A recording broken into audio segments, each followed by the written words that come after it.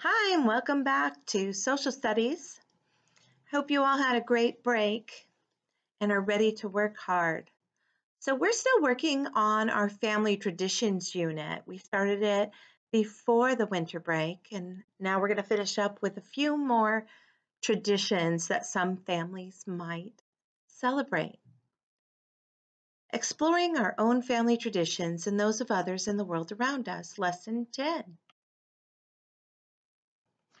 You'll need this sheet of paper. We started it right before our break. We talked about Christmas and Hanukkah.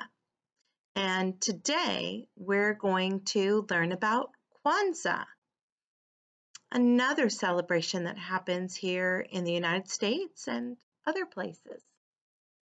So if you need to, pause, hit the pause button, and then come back and start again. I'm going to start by reading you a story called Seven Candles for Kwanzaa. It's by Andrea Davis Pinkney. Pictures are by Brian Pinkney.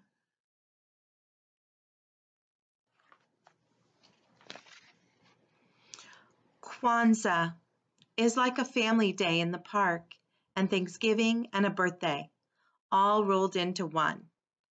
Kwanzaa is a joyous African American holiday that is seven days long. It begins on December 26th and lasts through the first day of January. The name Kwanzaa comes from the East African language of Swahili. It means first fruits of the harvest.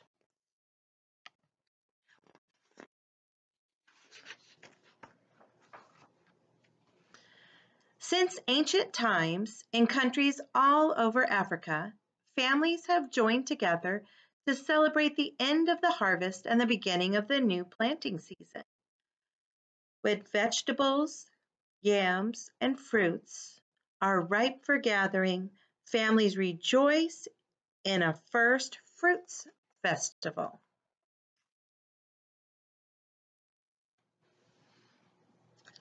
Kwanzaa is a holiday that began in America. It is a time when people whose ancestors come from Africa celebrate their African heritage. To get ready for the holiday, families decorate their homes with Kwanzaa symbols. They place the mkeka, a straw placemat, on a table. The mkeka is woven with beautiful patterns. It represents tradition. Muhindi is corn. During Kwanzaa, one ear of corn is placed on the mkeka for each child in the family. Families that have many children put lots of muhindi on their mkekas along with apples, bananas, nuts, pears, and yams, to remember the earth's abundance. These fruits and vegetables are called mazao, which means crops.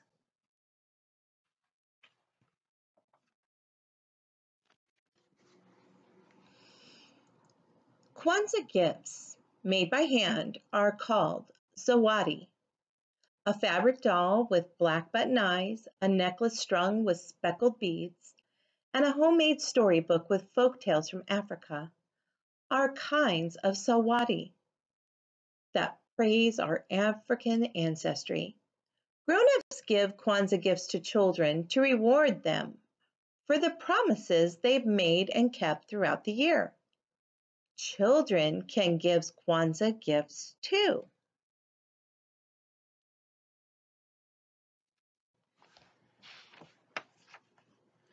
Seven Kwanzaa candles are proudly placed in our kinara, a wooden candle holder. A black candle in the center represents the richness of our skin. Three red candles are reminders of the struggles we sometimes have to face. Three green candles tell us to always look toward a prosperous future. For each day of Kwanzaa, one candle is lighted to celebrate a special principle. The seven Kwanzaa principles, called Nguzo Saba, come from beliefs that are held by families in many parts of Africa. These beliefs help us learn, achieve, and grow.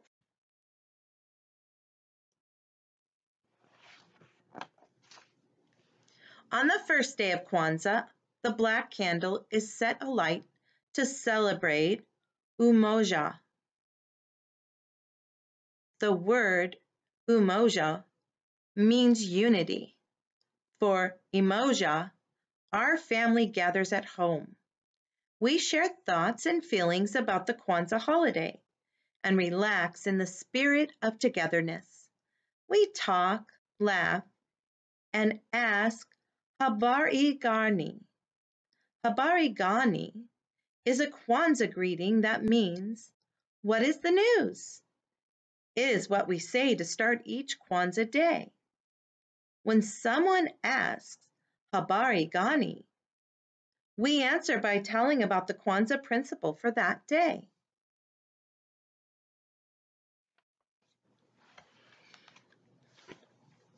If someone asks Habari Gani on the second day of Kwanzaa, the answer is Kuji Ka Gulia, which means self-determination. A red candle is lit to represent Kujicha Gulia. This is the day to learn traditions that help us define ourselves. In some families, women teach girls to braid their own hair in fancy styles. In others, folks learn to beat African rhythms on drums and gourds.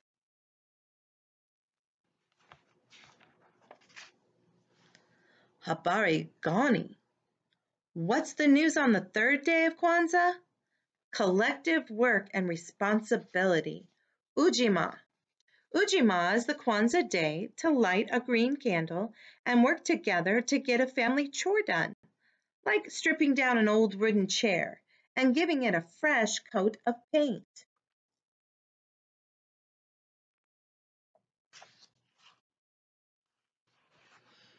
When the fourth day of Kwanzaa dawns, it's time to celebrate Ujamaa, cooperative economics.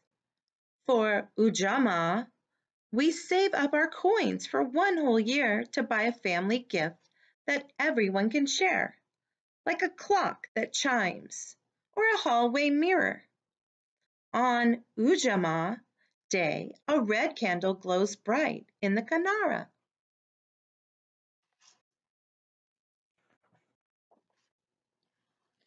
Nia is purpose, the fifth Kwanzaa principle. Today, a second green candle glows to illuminate our purpose. This day of Kwanzaa is for reflecting on how to fill the days and years ahead. Some folks dream of life as an astronomer who peers at stars nestled in the dark night sky, or a trumpet player who bebops in a swinging jazz band. Nia, our purpose is to do what makes us glad to be who we are.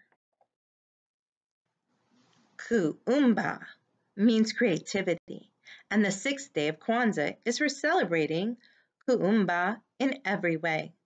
Today we make up dances to perform for our friends. Some dances tell stories about the history of people who live in Africa. Other dances are just for fun. Sculpting mounds of clay or reciting a favorite rhyme are also ways to express kuumba. So is planting seedlings on the windowsill and nurturing them to sprout. The third red candle shimmers to help our creativity shine.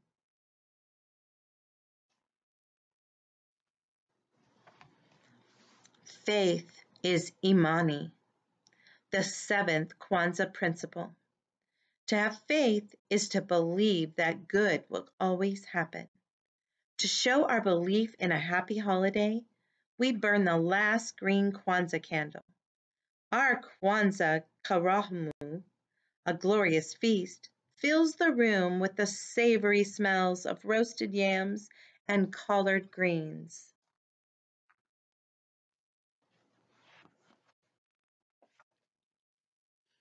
To begin the karamu, a grown-up spills a few drops of water from the kikombe cha umoja, the family Kwanzaa cup. Each droplet honors our African ancestors. Everyone takes a little sip from the cup to drink in the warm feelings of family unity. Then all give thanks for our delicious food and dig into our Kwanzaa meal.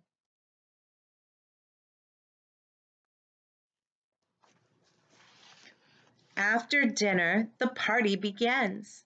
The music sounds a soul rousing rhythm. Everyone claps and shouts, rejoices and sings and dances to celebrate a happy Kwanzaa. The end. So let's look at our form and start writing about things that are used for Kwanzaa. So we'll start with decorations. So like two of our other celebrations, candles are involved. They have a kinara. The kinara has is a symbol of every day of Kwanzaa. There are seven candles for the seven days of Kwanzaa. There are table decorations and wreaths on the doors. Let's fill in under Kwanzaa the decorations. The colors for Kwanzaa are red, black, and green.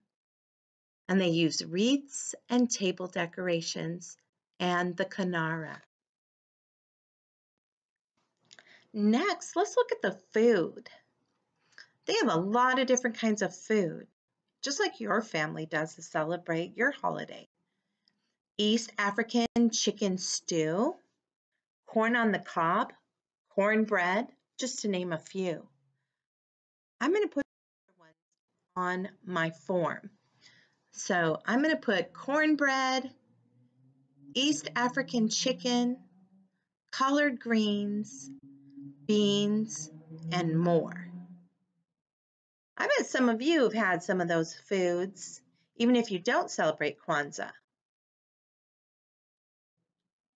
All right, remember if you need to, hit the pause button and you can write down what I'm writing. Or if you celebrate Kwanzaa, you can write down some of your own ideas. All right, here we go. Clothing. This is interesting. So there's a special cloth called kente cloth. It has a special print and it's usually very vibrantly colored with really bright colors, beautiful designs. So the first pictures show a man and a woman in African kente print sets. So there's special hats for the men and a special head wrap for the women. And the next picture shows a whole family in matching African kente print which is a style of shirt. And then, of course, there are Kwanzaa sweaters. Seems like every holiday has its own special sweater. Let's look at our form. All right, on our form, across from clothing, we're going to write clothing made from kente cloth, tunics, pants, dresses, and sweaters. A lot of different clothes. Remember, you can pause if you need a little more time. I'm going to keep going on the lesson, okay? And, oh, the different activities. To name just a few, of course, you're going to be lighting the kinara every day. Then you have dancing, and music and a lot of drums are included in the music for Kwanzaa. Also, families have special times when they sit and make gifts for one another because all the gifts are handmade, which is just wonderful. All right, let's finish the last section of our form for Kwanzaa, okay? So I wrote in mine lighting the kinara, dancing, singing and playing instruments, and then I put in parentheses, especially drums. Remember, you can hit pause, give yourself a little time, or the next page is going to show all three holidays that we've learned about so far. And you could also pause there. I think it's easier to pause right here where you just see the row we're working on. So look what we've learned so far. Look at all of these traditions. So far we've learned about Christmas, Hanukkah, and Kwanzaa. And we have one more on our form to fill out and learn about. But we're not done with Kwanzaa yet.